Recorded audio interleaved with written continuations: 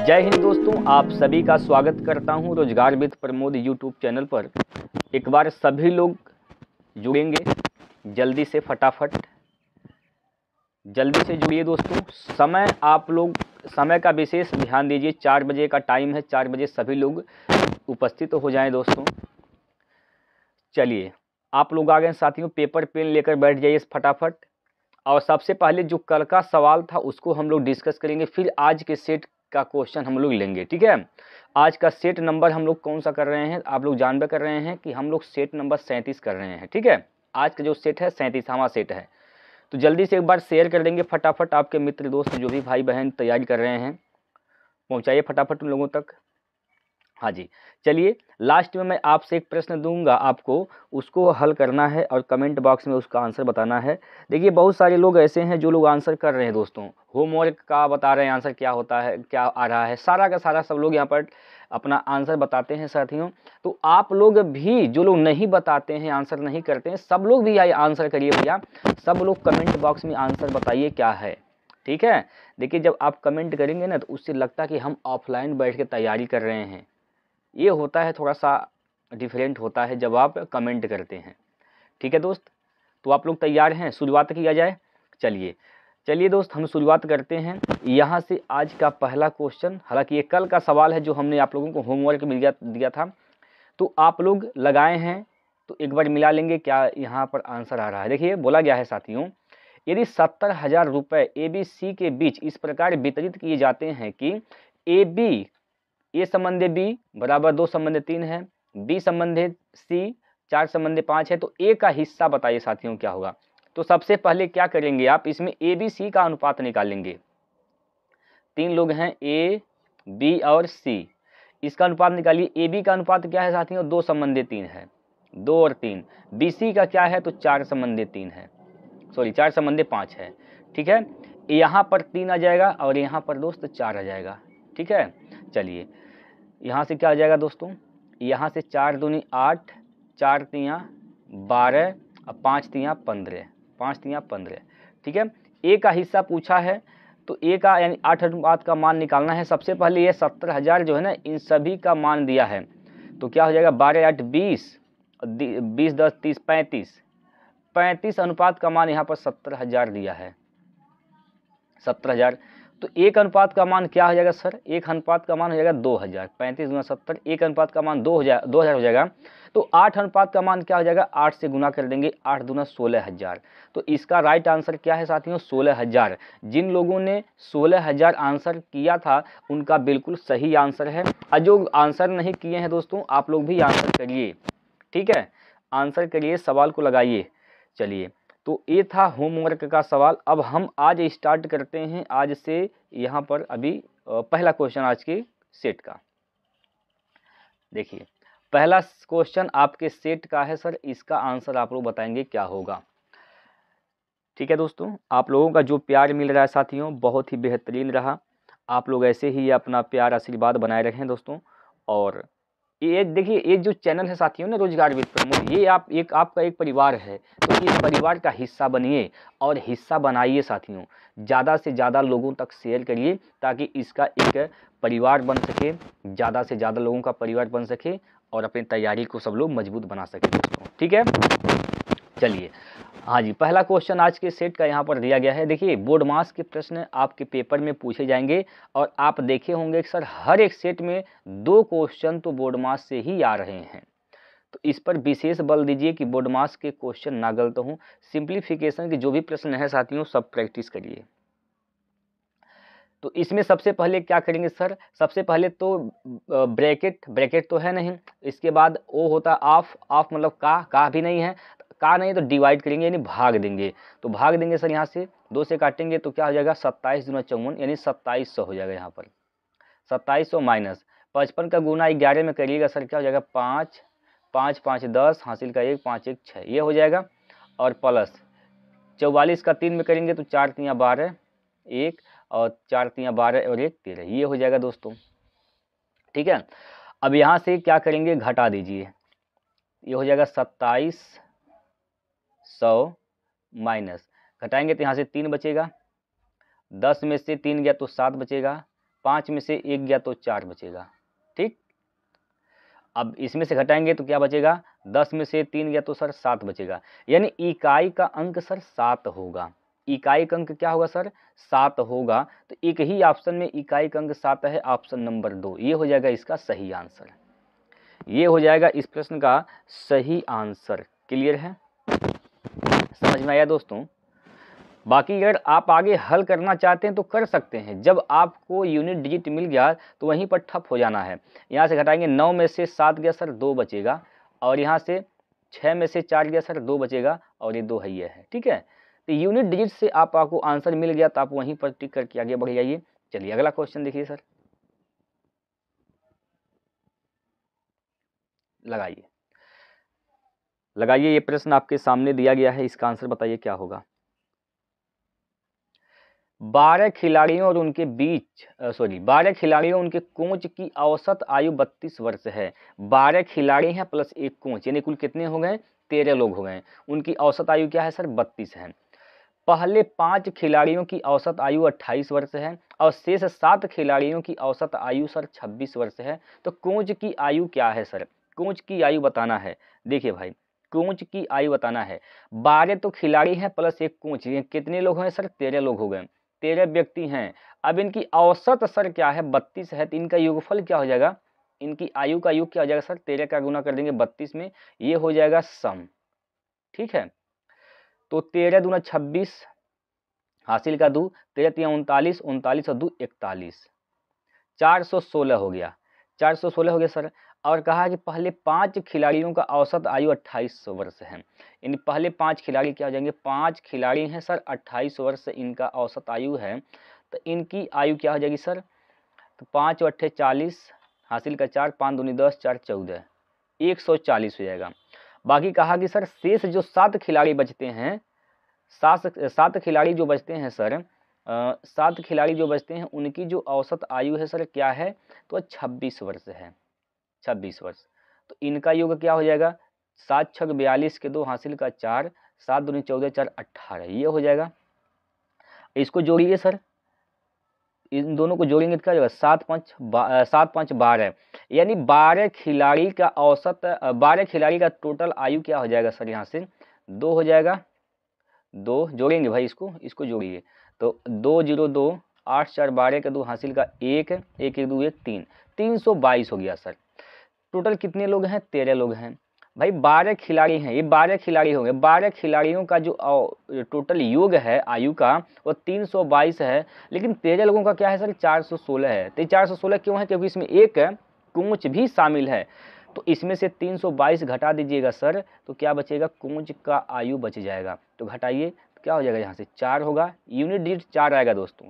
इकाई का अंक चार आएगा। एक ही ऑप्शन में है, ऑप्शन नंबर चार। क्लियर?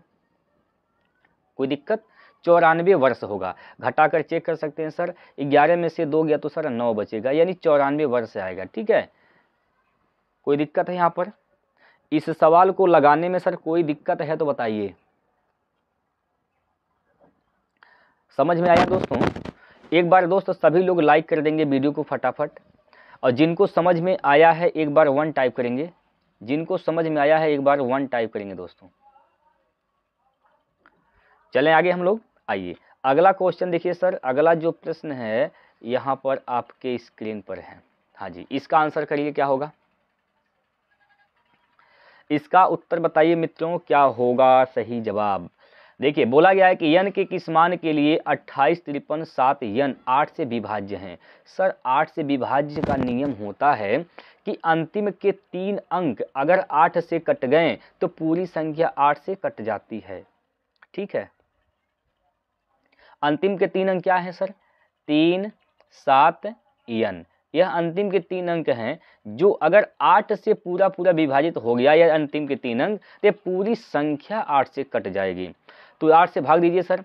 आठ तीन चौबीस, आठ चौको बत्तीस, आठ चौको बत्तीस, आठ चौक बत्तीस, आठ चौक बत्तीस, ठीक है? बत्तीस, क्या बचेगा, सर, यहाँ से? बत्तीस और पाँच सैंतीस।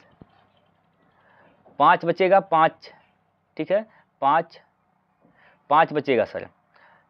पाँच बच रहा है, ठीक है? बत्तीस, पाँच, सैंतीस होता है, पाँच बचेगा। हमें क्या करना है, सर? इसको डिवाइड करना है। यहाँ पर पाँच बचेगा, सर। यानी आठ यहाँ पर यन है। यहाँ पर क्या है? यहाँ पर यन है। यहाँ पर यन है। यानी आठ का पहाड़ा ऐसा पढ़ना, सर, कि यहाँ पर पाँच के आसपास में कोई संख्या आ जाए तो कि पूरा पूरा कर दिया है अब देखिए आठ चौ बत्तीस आठ पच्चीस, चालीस, आठ छः अड़तालीस, आठ सत्ते छप्पन, आठ सत्ते छप्पन। अगर यन की जगह सर छः होगा तो पूरी संख्या क्या कट नहीं जाएगी? छप्पन। कट जाएगी, नहीं कट जाएगी, बताइए। छप्पन आठ से कट जाएगा। तो इसका मतलब यन की जगह क्या लेना पड़ेगा हमें? छः लेना पड़ेगा। यन की जगह क्या लेना पड़ेगा सर? छः लेना पड़ेगा। ठीक है सर? बताइए। क्या कोई दिक्कत है इसमें? चलिए सर, चलिए आगे चलते हैं अगले क्वेश्चन की ओर। अगला प्रश्न देखिए। लगाइए सर। लगाइए और बताइए उत्तर क्या होगा?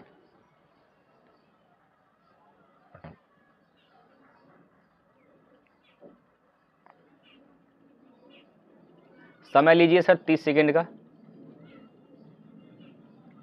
तीस सेकंड से चालीस सेकंड आप समय लीजिए।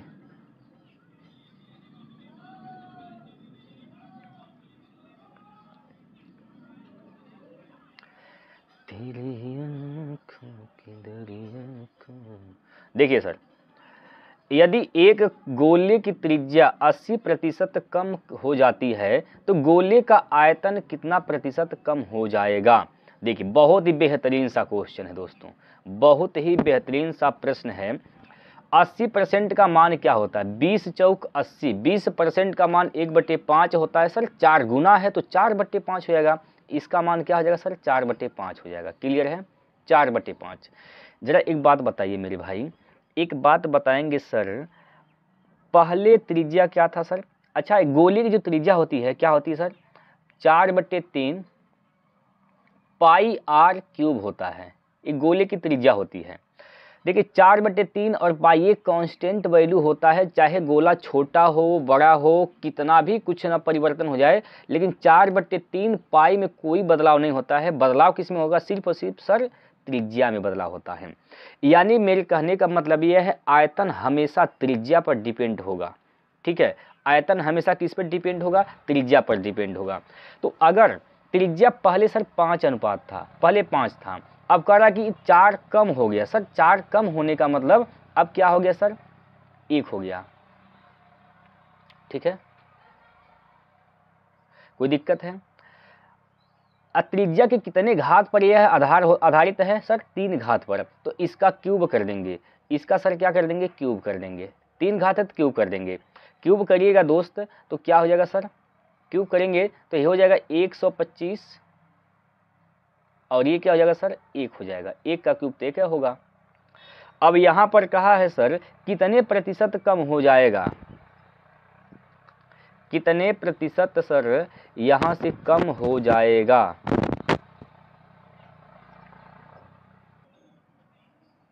देखिए, कितना कमी हुआ सर यहाँ से? भाई 125 था, कम होकर एक हो गया। तो कितना कम हुआ सर? 124 कम हुआ।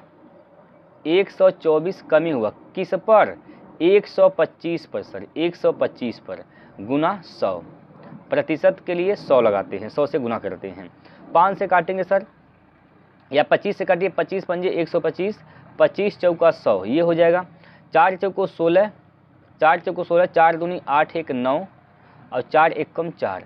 चार सौ छियानवे बटे क्या होगा सर? पाँच होगा। पाँच हो जाएगा। ठीक है? और इसको भाग दीजिए पाँच पाँच से भाग दीजिए। पाँच नवा पैंतालीस, पाँच नवा पैंतालीस, चार बचेगा। पाँच नवा पैंतालीस, एक बचेगा दशमलव पाँच दूनी दस। यानी निन्यानवे दशमलव दो प्रतिशत की क्या होगी सर? कमी हो जाएगी उसके आयतन में। ऑप्शन नंबर दो इसका राइट आंसर हो जाएगा। क्लियर है सर? ऑप्शन नंबर दो, इसका बिल्कुल सही उत्तर है। कोई दिक्कत? है चलिए, अगला प्रश्न देखिए सर। हाँ जी, लगे, लगाइए।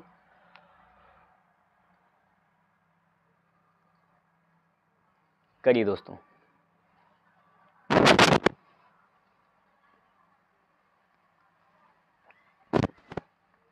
देखिए, एक ट्रक निर्धारित समय से 30 मिनट पहले निकलता है।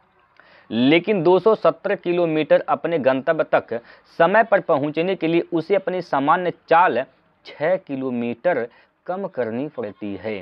ट्रक की सामान्य चाल क्या है, सर? ट्रक की सामान्य चाल, सर, क्या है? ट्रक की सामान्य चाल बताइए क्या है? तो अगर ट्रक की सामान्य चाल निकालना है तो क्या करेंगे? सब, इसको सबसे आसान जो तरीका है, वह है ऑप्शन मेथड। क्या होता है, सर? ऑप्शन मेथड, ठीक है? ऑप्शन से हल करेंगे तो आसानी से हल देखिए दोस्तों ऑप्शन से कैसे लगाएँगे? दूरी क्या है सर? 270 किलोमीटर की दूरी है। हम ऑप्शन ले लेते हैं, मान लेते हैं कि ये 60 किलोमीटर प्रति घंटा जो है, इसका सामान्य चाल है। तो 60 किलोमीटर प्रति घंटा की चाल से अगर चलता है, ठीक है? अगर 60 किलोमीटर प्रति घंटा की चाल से चलता है तो यहाँ पर देखिए क्या हो जाएगा? छः से काटिए। दो से काटिए, दो तीन छः तीन से काटिए। तीन से काटिए, तीन दूना छः और तीन नौ सत्ताईस। नौ बटे दो का मतलब साढ़े चार। तो साढ़े चार घंटा, ठीक है? साढ़े चार घंटा यहाँ से आ रहा है। मतलब ये हुआ कि चार घंटा तीस मिनट, चार बजकर तीस मिनट, जो भी रहे सर, यहाँ पर वह निकलता है। ठीक है? सामान्य चाल के हिसाब से। लेकिन क्या करता है सर, वह तीस मिनट पहले निकलता है सर ना तो क्या करता है, चाल को छः किलोमीटर प्रति घंटा कम कर देता है। चाल को क्या करता है? छः किलोमीटर प्रति घंटा कम कर देता है। देखिए 270 किलोमीटर की दूरी ही अब वह जाएगा कितना में? चौवन किलोमीटर प्रति घंटा के स्पीड से। तो इसको काटेंगे। सत्ताईस से कम सत्ताईस सत्ताईस दूना चौवन, दो पाँच दस, ये पाँच घंटा यहाँ पर लगेगा। पाँच घंटा यहाँ पर लगेगा। क्या लग रहा है यहाँ पर? साढ़े चार घंटा। आधा घंटा बताइए, पहले निकला नहीं निकला है? आधा घंटा पहले निकला है कि नहीं निकला? निकला है, सर। यहाँ भी बोला है, सर, आधा घंटा पहले निकलता है। तो आधा घंटा पहले निकलता है तो इसी ऑप्शन से कन्फर्म हो जा रहा है ऑप्शन नंबर तीन से। ठीक है? तीसरा विकल्प क्या है इसका? सही उत्तर है। ठीक मेरे भाई? कोई दिक्कत, कोई परेशानी है तो बताइए। समझ में आया दोस्तों? तो इस प्रकार आप ऑप्शन से भी हल कर सकते हैं। ठीक है? अगला क्वेश्चन देखिए। लगाइए।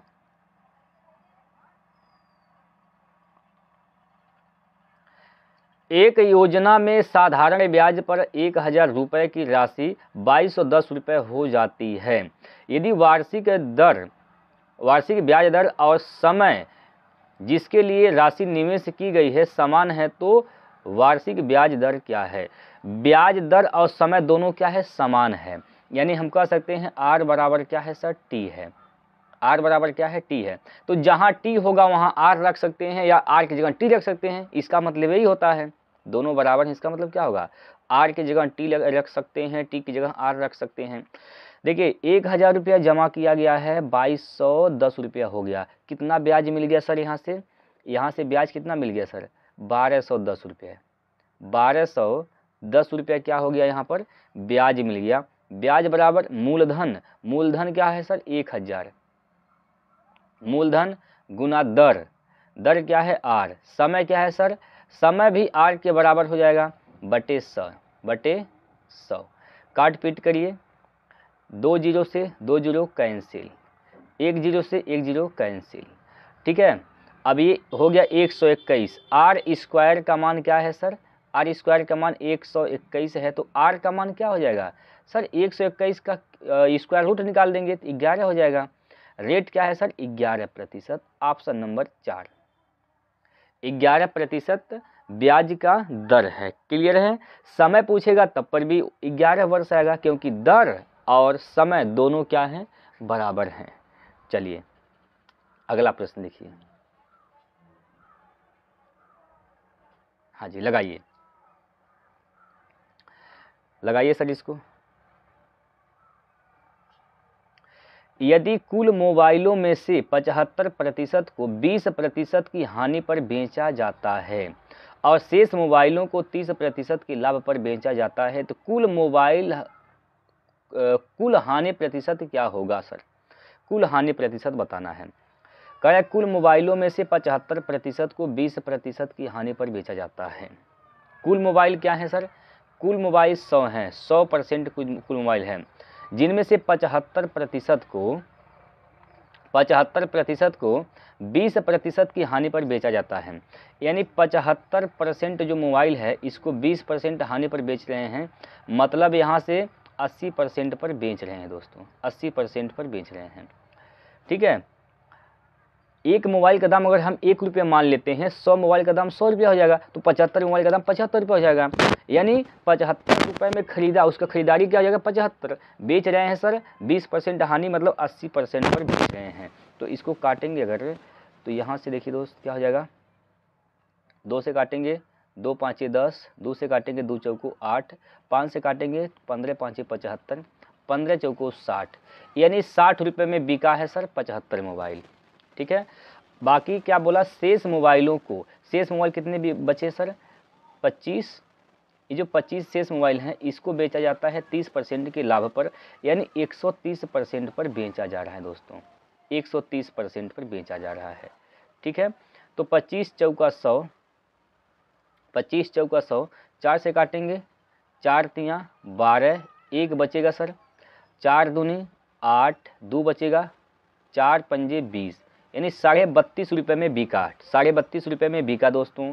अब यहाँ से टोटल कितना बिक्री हो गया यहाँ पर? भाई साठ ये है और साढ़े बत्तीस ये है। तो क्या हो जाएगा सर? छः तीन नौ, साढ़े बानवे परसेंट।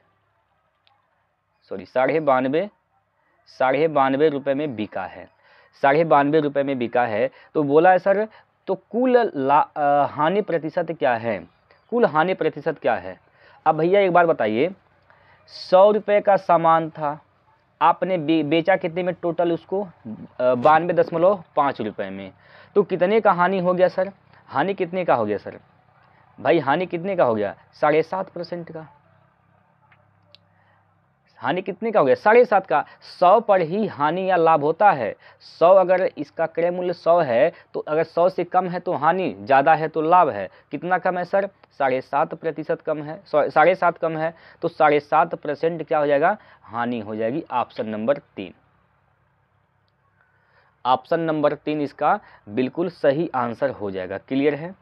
चलिए, अगला प्रश्न देखिए सर। हाँ लगाइए इसको।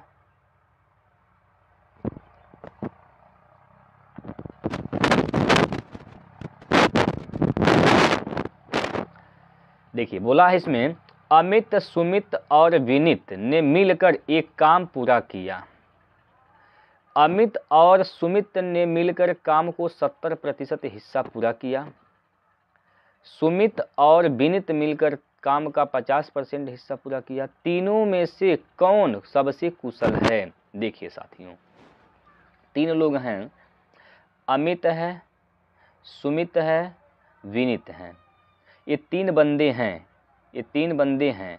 यहाँ पर बोला गया है, अमित और सुमित, अमित और सुमित। ये मिलकर काम का तीस, सत्तर परसेंट करते हैं। भाई, सत्तर परसेंट का मान क्या होता है सर? सत्तर परसेंट का मतलब सत्तर, सात बट्टे दस होता है। पचास परसेंट का मतलब एक बट्टे दो होता है। टोटल काम क्या मान लें हम लोग? दस और दो का लॉस हो यानी दस। ठीक है? तो अगर दस का सात बट्टे दस निकालेंगे सर तो सात आ जाएगा। यानी सात काम तो कौन करते हैं? अनमित और सुमित। बाकी क्या हुआ यहाँ पर? बाकी कौन कौन है? सुमित और विनित। सुमित और विनित। सुमित और विनित। ये दोनों मिलकर पचास प्रतिशत काम करते हैं। दस का पचास परसेंट मतलब पाँच हो जाएगा दोस्तों। पाँच हो जाएगा। ठीक है? पूछा है, तीनों में से सबसे कुशल कौन है? तो तीनों में से सबसे कुशल क्या है? कौन है तीनों में सबसे कुशल? बताइए। तीनों में से सबसे कुशल कौन है? अगर हम तीनों की क्षमता की बात करें, तीनों को, तीनों की क्षमता की बात करते हैं साथियों, यानी अमित, सुमित और विनीत इन तीनों लोगों की क्षमता अगर हम मानते हैं सर, दस अगर है, ठीक है? तो अमित और सुमित का क्या है सर? सात है तो विनीत का क्या हो जाएगा यहाँ से? भाई सात घटाएँगे सर तीन हो जाएगा। विनित का क्षमता क्या हो जाएगा सर तीन? विनित का अगर सर तीन है, अगर ये तीन है तो ये क्या हो जाएगा? दो हो जाएगा। तभी तो पाँच आएगा। और ये अगर दो है सर तो ये सात लाना है तो क्या होना चाहिए? ये पाँच होना चाहिए। ठीक है, तभी तो सात आएगा। पूछा है तीनों में सबसे सबसे कुशल कौन है? तो जिसकी क्षमता ज़्यादा, वही सबसे कुशल होगा। तो सर ए की क्षमता ज़्यादा है, पाँच है तो सबसे कुशल कौन होगा? भाई पाँच काम कर रहा है ना यहाँ पर। ए पाँच काम कर रहा है मतलब अमित पाँच काम कर रहा है, उसका मतलब उसका कुशलता ज़्यादा है तो सबसे ज़्यादा कुशल अमित होगा तीसरा विकल्प। क्लियर तीसरा विकल्प इसका सही है, ठीक है? अगला प्रश्न देखिए सर। हाँ जी, लगाएँगे इसको। लगाइए भैया।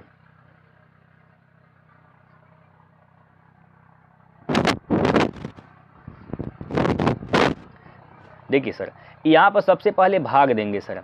भाग दीजिए, तेईस से भाग करना इसमें तो कितनी बार में जाएगा सर? कितनी बार में जाएगा? भाई, एक चौदह सौ पंचानवे में भाग करना है सर, तेईस से। कितनी बार में जाएगा सर? तेईस, पाँच, नहीं छः दूनी बारह, सात दूनी चौदह, सात बार नहीं जाएगा छः बार जाएगा, देखते हैं। छः तियाँ अट्ठारह, हासिल का एक छः दूनी बारह, एक तेरह, ये हो जाएगा। यानी क्या बचेगा सर यहाँ पर? एक बचेगा, यहाँ से एक बचेगा, ये हो जाएगा पंद्रह। तेईस पंजे एक सौ पंद्रह, देखिए, तीन पाँचे पंद्रह, हासिल का एक, पाँच दूनी दस और एक ग्यारह। यानी यहाँ से भाग जाएगा सर कितनी बार में? पैंसठ बार में।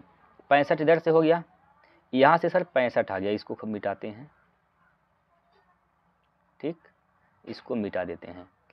अब सर यहाँ पर क्या करेंगे? चौवालीस है ना यहाँ पर? चौवालीस है इंटू नौ है माइनस। तीन से भाग देंगे, इक्कीस में तो सात तीन, इक्कीस सात बार में जाएगा। तो गुना करेंगे यहाँ पर। ये हो जाएगा पैंसठ प्लस नौ चौको छत्तीस हासिल का तीन, नौ चौक छत्तीस तीन उनतालीस। माइनस का सात। माइनस का सात। यहाँ से सर घटा देंगे अगर आप घटाइएगा तो ये पैंसठ और प्लस सत्रह में, सोलह में से सात गया तो नौ, सात, सोलह होता है सर, नौ बचेगा। ठीक है, सोलह में से सात गया तो नौ बचेगा, यहाँ से आठ, यहाँ से तीन।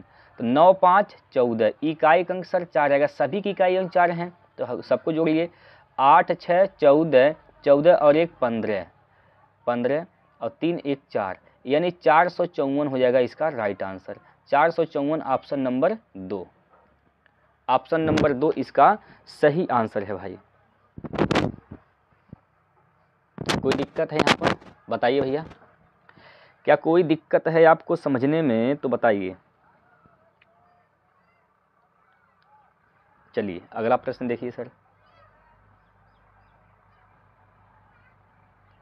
हाँ जी, इसको लगाएँगे।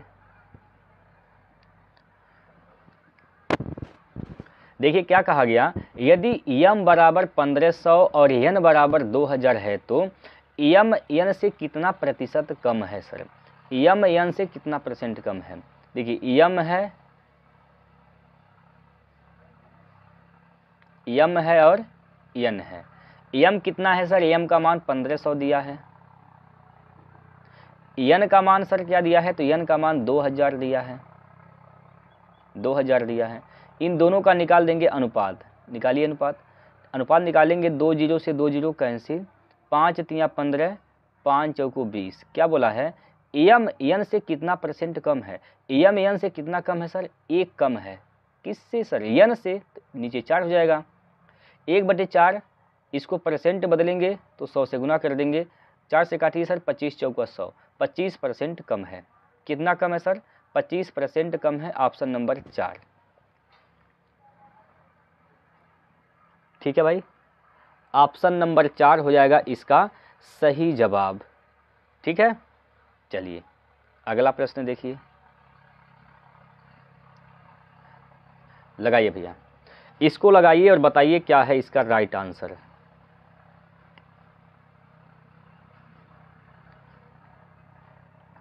एक वस्तु को 20 प्रतिशत की छूट पर बेचा जाता है।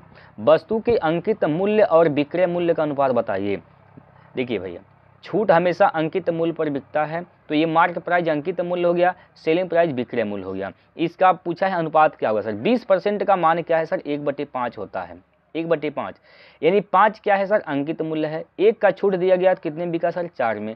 तो पाँच संबंधित चार हो जाएगा इन दोनों का अनुपात। अंकित मूल्य और विक्रय मूल्य का अनुपात क्या है, सर? पाँच संबंधित चार, ऑप्शन नंबर दो।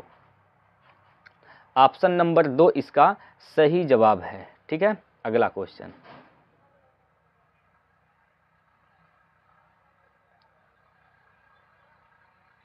चलिए, बताइए सर इसका आंसर क्या होगा? लगाइए। और आंसर बताइए क्या होगा?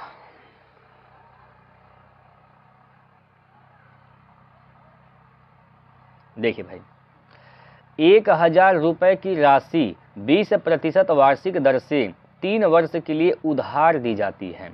निम्नलिखित में से कौन सा कथन सही है? कौन सा कथन सही है?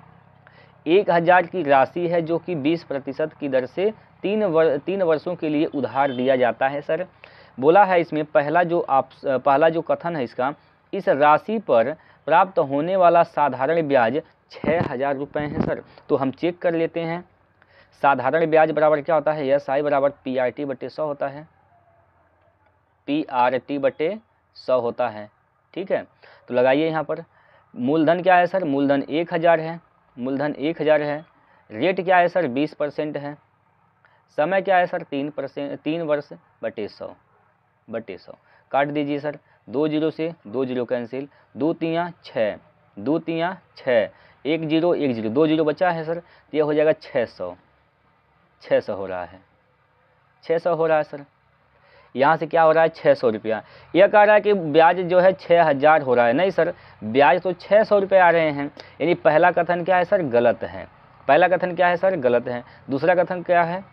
इस राशि पर प्राप्त होने वाला चक्रवृद्धि ब्याज, जो कि वार्षिक रूप से संयोजित है, बहत्तर सौ रुपये हैं। तो चेक कर लेते हैं, सर, चक्रवृद्धि ब्याज क्या बहत्तर सौ आ रहा है। देखिए, सर, बीस परसेंट है ना यहाँ पर? बीस परसेंट है तो एक हज़ार पर, एक हज़ार पर बीस परसेंट के हिसाब से तीन साल का चक्रवृद्धि ब्याज निकालेंगे। तो ट्री मेथड से लगा दीजिए यहाँ पर, ऐसे। बीस परसेंट का मतलब एक बटे पाँच होता है, एक बटे पाँच, यानी एक बटे पाँच इसका निकालेंगे, एक बटे पाँच एक हज़ार का तो पाँच दूनी दस, यहाँ से दो सौ हो जाएगा। ठीक है? दूसरे साल में जाएँगे, दूसरा साल भी इसे ब्याज लेगा।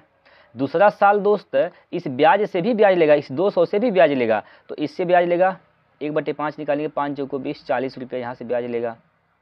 तीसरे वर्ष में जाएँगे सर, तीसरे वर्ष में जाएँगे, पहले वह एक हज़ार से ब्याज लेगा, दो सौ रुपया ले लिया सर। ठीक है? तीसरा साल ब्याज से जितने ब्याज मिले इधर इधर जितने ब्याज मिले हैं, इन दोनों से ब्याज लेगा। तो दो हज़ार से ब्याज लेगा, पहले इस दो हज़ार से, दो सौ रुपये से ब्याज लेगा तो यहाँ से चालीस रुपये ब्याज लेगा। इस दो सौ से ब्याज लेगा, फिर चालीस रुपये ब्याज लेगा। इस चालीस रुपया से भी ब्याज लेगा, सर तो पाँच, अट्ठे, चालीस, आठ हो जाएगा दोस्तों ब्याज। आठ रुपया हो जाएगा, ठीक है?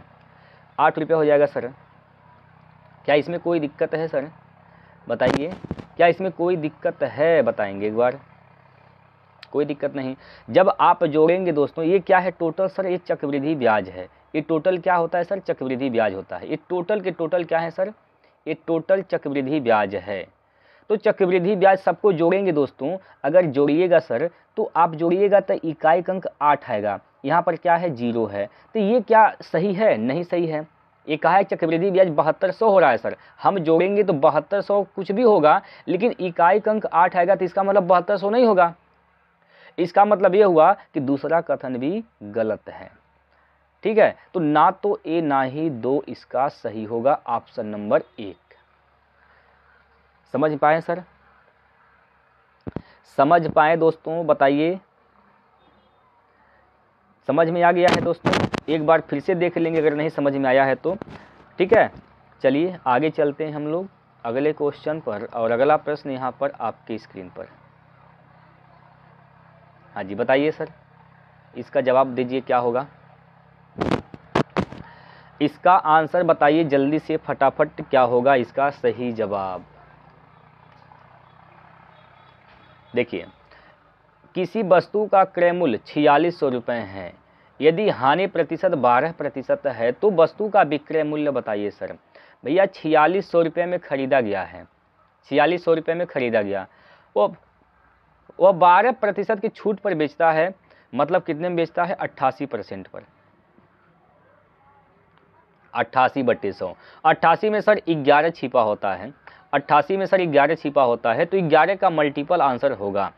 ठीक है? अब बाकी आप चाहते हैं इसको हल करना, दो ज़ीरो से दो ज़ीरो कैंसिल और आठ छक अड़तालीस इकाई का अंक आठ आएगा। आठ छक अड़तालीस इकाई का अंक आठ आएगा, ये ऑप्शन नहीं सही है, ये ऑप्शन नहीं सही है। अब इन दोनों में से कोई एक सही है, या तो अट्ठासी और छियालीस का गुना करिए, या फिर ग्यारह से भाग देकर चेक कर लीजिए, क्योंकि अट्ठासी में ग्यारह है तो जो ग्यारह से कटेगा वही आंसर हो जाएगा। देखिए आठ आठ सोलह, ठीक है? आठ तीन ग्यारह। तो सोलह और ग्यारह का अंतर क्या जाएगा पाँच, ये तो ग्यारह से नहीं कटेगा, ये आंसर नहीं होगा। इसको चेक कर लीजिए भाई। आठ और चार चार, आठ। ये आठ माइनस आठ करेंगे, ज़ीरो हो जाएगा। और विभाजता का नियम कहता है, सर अल्टरनेट अंकों का योग का अंतर अगर ज़ीरो आता है तो ग्यारह से कट जाती है तो दूसरा विकल्प इसका सही है। ठीक है? दूसरा विकल्प क्या हो जाएगा? इसका राइट आंसर हो जाएगा भाई। अगला प्रश्न देखिए। हाँ जी, करिए फटाफट। लगाइए भाई।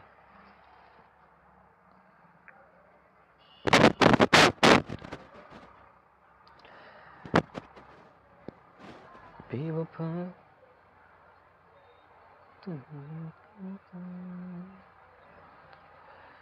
बेदर्दी से प्यार का,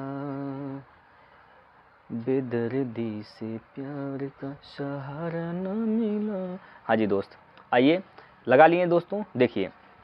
एक मिश्रण में एसिड और पानी का अनुपात चार संबंधी सात है भैया। एक मिश्रण है जिसमें एसिड है सर और पानी है सर। तो किस अनुपात में है भैया? तो ये चार संबंधी सात के अनुपात में है सर, चार संबंधी सात के अनुपात में है, ठीक है? यदि इस, इसमें दस लीटर पानी मिलाया जाता है, क्या मिला रहे हैं भैया? हम पानी मिला रहे हैं, सर। कितना? सर, दस लीटर पानी मिला रहे हैं, ठीक है? पानी जब मिलाते हैं तो एसिड और पानी का अनुपात आठ संबंधी उन्नीस हो जाता है। तो एसिड भैया आठ हो जाता है और पानी यहाँ पर क्या हो जाता है, सर? उन्नीस हो जाता है। ठीक है, उन्नीस हो जाता है। तो बोला है, सर, यहाँ पर, मिश्रण में एसिड की मात्रा बताइए। एक बात ज़रा बताइए मेरे भाई। आप दो मिश्रण आपके दो चीज़ आपके पास है। जब आप एक ठे में कोई चीज़ मिला रहे हैं तो दूसरका का जो अनुपात है वो नहीं बदलना चाहिए। जैसे यह एसिड और वाटर पानी है तो आपने सर इसमें पानी मिलाया है। पानी का अनुपात बदलेगा, क्योंकि आपने पानी मिलाया है। लेकिन एसिड का अनुपात नहीं बदलेगा। पहले जितना एसिड था, अब भी उतना एसिड रहेगा। ठीक है? तो देखिए यहाँ पर, गौर करेंगे यहाँ पर। यहाँ पहले एसिड सर चार था, अब क्या हो गया सर आठ हो गया। ये तो गलत बात है। पहले और अभी जो एसिड है, बराबर होना चाहिए तो इसको हम बराबर करेंगे सर। बराबर कैसे करते हैं सर? आप इसको आठ बना दीजिए, चार को आठ बनाइए, दो से गुना कर देंगे। ये हो जाएगा सर आठ, और ये क्या हो जाएगा, सात दूनी चौदह हो जाएगा। ठीक है? सात दूनी चौदह हो जाएगा। ठीक है भाई? कोई दिक्कत? है अब देखिए यहाँ पर। पहले वाटर, पानी क्या था सर? पहले पानी सर चौदह था। अब क्या हो गया सर? उन्नीस हो गया। कितने की वृद्धि हुई सर? यहाँ से वृद्धि पंद्रह चार चौदह, पाँच, उन्नीस, पाँच का वृद्धि हुआ सर। पाँच वृद्धि क्यों हुआ है? क्योंकि इसमें दस लीटर पानी मिलाया गया है। पाँच का मान दस है तो एक का मान सर दो हो जाएगा। एक का मान दो हो जाएगा सर। एसिड पूछा है। एसिड क्या है भैया? आठ अनुपात है। एसिड क्या है? आठ अनुपात। अगर एक का मान दो, आठ का मान सर सोलह हो जाएगा। तो ऑप्शन नंबर चार इसका सही जवाब है। कोई दिक्कत? बताइए भाई। क्या इसमें कोई दिक्कत है आपको? चलिए, अगला प्रश्न देखिए सर। पंद्रह नंबर प्रश्न। हाँ जी, लगाएँगे एक बार।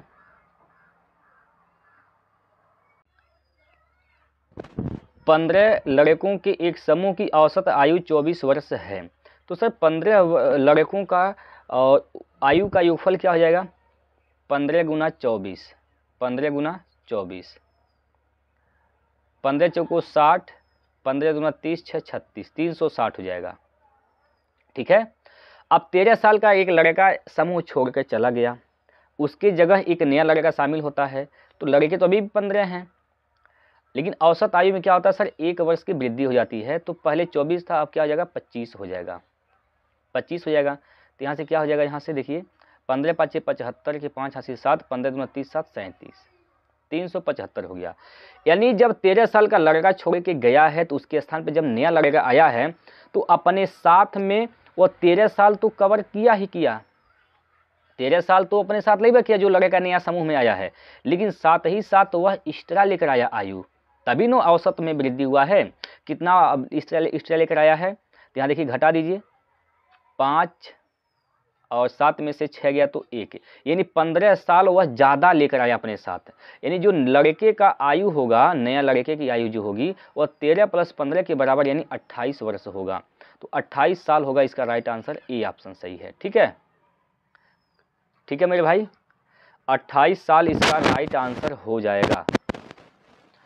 कोई दिक्कत है समझने में? चलिए आगे चलते हैं। अगला क्वेश्चन देखते हैं सर हाँ जी, लगाइए इसको। लगाइए फटाफट।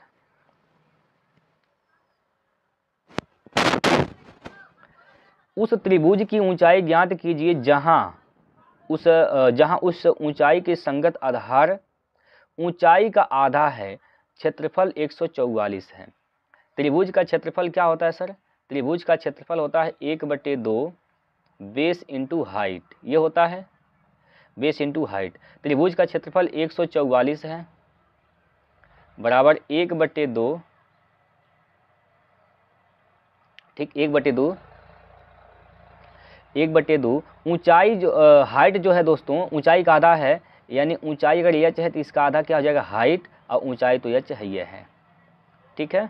चलिए, यह हो जाएगा एक सौ चौवालीस गुना दो दूनी चार हो जाएगा दोस्तों, दो दूनी चार इंटू बराबर यच का स्क्वायर तो यच का मान सर क्या हो जाएगा? इसका अंडर रूट निकाल देंगे यच का मान हो जाएगा, ठीक है? तो क्या हो जाएगा यहाँ से? बारह हो जाएगा यहाँ पर।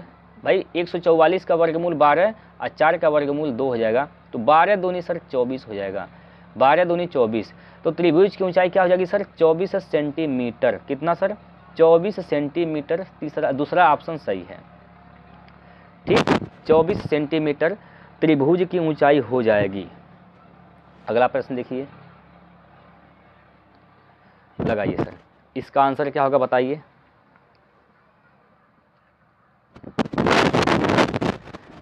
देखिए, यदि तीन टी बराबर सौ है, पाँच यू बराबर सात वी है तो टी यहाँ पर लगता है सर कुछ गलती है, ठीक है? यहाँ पर सर कुछ गलती है, अभी देख लेते हैं। चलिए, यहाँ पर शायद यू होगा सर, यहाँ पर यू होना चाहिए। ठीक है? हाँ जी, यहाँ पर देखते हैं। टी यू वी का मान निकाल लेते हैं सर। तो टी का अनुपात क्या हो जाएगा सर यहाँ से? दस हो जाएगा। ये टी का होगा अनुपात और ये टी के साथ जो है तीन, यह यू का हो जाएगा। यू का क्या हो जाएगा? तीन हो जाएगा। वहाँ से, यहाँ से आइए अब।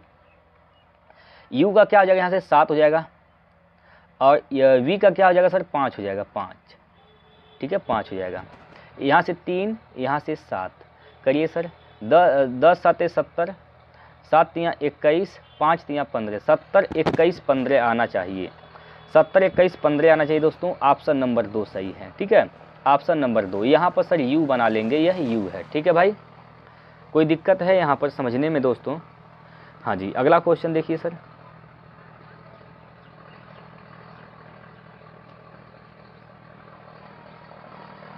लगाइए सर, क्या होगा इसका राइट आंसर इसका आंसर बता देंगे दोस्तों, क्या होगा? सही जवाब। क्या कहा गया है? यक्स और वाई मिलकर एक काम को 20 दिनों में पूरा कर सकते हैं, सर। यक्स और वाई। यक्स और वाई मिल के जब काम करते हैं, सर तो किसी काम को ये 20 दिनों में क्या कर सकते हैं? पूरा कर सकते हैं। ठीक है? कहा कि यदि वाई अकेले उस काम को 25 दिन में पूरा कर सकता है। अगर सर वाई अकेले करे तो वह उसी काम को 25 दिन में कर सकता है पूरा, ठीक है? तो टोटल काम क्या हो जाएगा? दोनों का लघुत्तम। क्या हो जाएगा सर? सौ। बीस पाँचे सौ, पच्चीस चौका सौ, ठीक है? तो बोला सर, अगर यक्स अकेले काम करेगा तो उसी काम को कितना दिन में पूरा कर पाएगा? तो यक्स का क्षमता निकालना हमारा मेन टारगेट होगा। हमारा जीवन का उद्देश्य क्या है? यक्ष की क्षमता निकालना। अगर वाई का क्षमता सर अकेले यहाँ पर चार है, अगर वाई का क्षमता चार है, अगर वाई का क्षमता सर ये चार हो गया तो इसका क्या होना चाहिए? तो पाँच होगा। एक रखेंगे सर, एक। तभी ना पाँच होगा? चार प्लस एक पाँच हो जाएगा। तो सौ काम है। अब एक ही क्षमता से करेंगे तो सौ दिन लगेगा। यक्ष को कितना दिन लग जाएगा? सौ दिन लग जाएगा दोस्तों। चौथा विकल्प, ठीक? कोई दिक्कत है? समझ में आया दोस्तों? चलिए, अगला प्रश्न देखिए। करिए।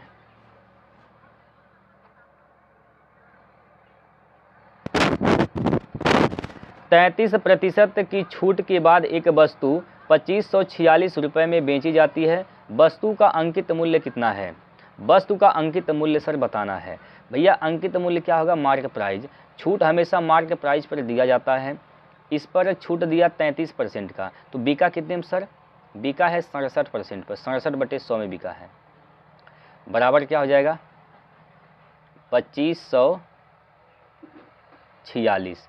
पच्चीस सौ छियालीस। काट पीट करिए। कितना बार में कटेगा? देखिए सर, सबसे पहले आप भाग जब देंगे तो आप गड़बड़ कर देंगे, भाग कैसे देंगे सर? इतना लंबा सड़सठ का पहाड़ा आइबे नहीं करता है, सड़सठ एक अभाज्य संख्या होती है, तब भाग कैसे देंगे? देखिए, गौर करेंगे यहाँ पर, यहाँ इकाई अंक क्या है सर? छः है। यहाँ की इकाई अंक क्या है? सात है। यानी सात का पहाड़ा ऐसा पढ़ दें कि इकाई अंक छः आ जाएगा। अब ऑप्शन को देखिए, अगर सात का गुना यहाँ पर देखिए, ज़ीरो को छोड़िए सर, ज़ीरो को छोड़ दीजिए, क्योंकि ये दो ज़ीरो है ना, दो ज़ीरो आएगा। सात का गुना अगर आठ में करेंगे, आठ सात छप्पन छः आ जाएगा। सात का गुना पाँच में सात पाँच पैंतीस, छः नहीं आएगा। सात का गुना चार में कहेंगे सात चौक अट्ठाईस, छः नहीं आएगा। सात का गुना छः में कहेंगे सात छः बयालीस, छः नहीं आएगा। तो एक ही ऑप्शन में ऑप्शन से छः आएगा दोस्तों इकाई अंक अड़तीस सौ से, ठीक है? तो इसका सही आंसर भी क्या हो जाएगा? अड़तीस सौ हो जाएगा। इसका सही आंसर क्या हो जाएगा? अड़तीस सौ। समझ में आया दोस्तों? करना क्या है? आपको चेक करना है कि भाई देखिए, जब आप इससे इसको जब हल करेंगे, काट पीट करेंगे तो यहाँ से सात से जब गुना करेंगे यहाँ पर आठ में तो यहाँ पर छः आना चाहिए ना, छः इकाई अंक तो छः आएगा। ठीक है? सिंपल बात है। कोई दिक्कत? समझ में आया? चलिए, ऐसे करना होता है दोस्तों सवाल को। इसको हल करके आप बताइए क्या होगा। इसको आप हल करके बताइए दोस्तों क्या होगा।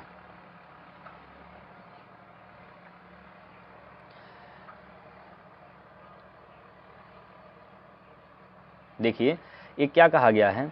यहाँ पर, का है सर ना, पहले इसको हल करेंगे।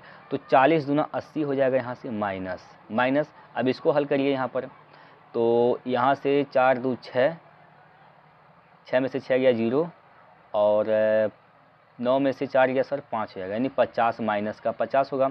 अब माइनस बाहर से बाहर भी है तो माइनस माइनस प्लस हो जाएगा। पचास प्लस अस्सी, यानी एक सौ तीस। एक सौ तीस इसका सही आंसर है। ठीक है? 130 इसका सही आंसर है दोस्तों। चलिए, ये 20 प्रश्न हम लोग किए हैं दोस्तों। अब आपका पारी आता है कि आपने कितने क्वेश्चन अपने मन से बना पाए हैं, कमेंट करके बताइए। और अगर आप इसका पीडीएफ चाहते हैं सर तो पीडीएफ आप प्राप्त कर सकते हैं। टेलीग्राम चैनल है, Rozgar with Pramod. Telegram channel को ज्वाइन करिए, वहाँ से आप इसका पीडीएफ प्राप्त करिए दोस्तों। और अगर आपको कोई दिक्कत होती है कोई यहाँ पर सुझाव देना है कुछ भी तो आप हमारा व्हाट्सअप नंबर नोट कर लीजिए। नंबर नोट करेंगे संतानवे चौरानवे, सैंतीस, चौरानवे, बत्तीस। ये व्हाट्सअप नंबर है, इस पर व्हाट्सअप आप लोग कर सकते हैं। ठीक है दोस्तों? चलिए, और आज का जो होमवर्क है दोस्तों, आपके स्क्रीन पर यहाँ पर देते हैं। चलिए, ये जो क्वेश्चन है होमवर्क में है, इसका जवाब आपको कमेंट बॉक्स में देना है। ठीक है? इसका जवाब आपको कमेंट बॉक्स में देना है दोस्तों। इसका आंसर क्या होगा? प्रयास करिए सर आंसर बताने का। चाहे आप कमेंट करिए या ना करिए, बात की बात है, लेकिन आप लोग सवाल को ज़रूर लगाइए। ठीक है दोस्त? कोई दिक्कत? चलिए। चलिए दोस्तों, फिर हम यहीं पर बंद करते हैं। कल फिर मिलते हैं अगले सेट को लेकर। तब तक के लिए जय हिंद, जय भारत।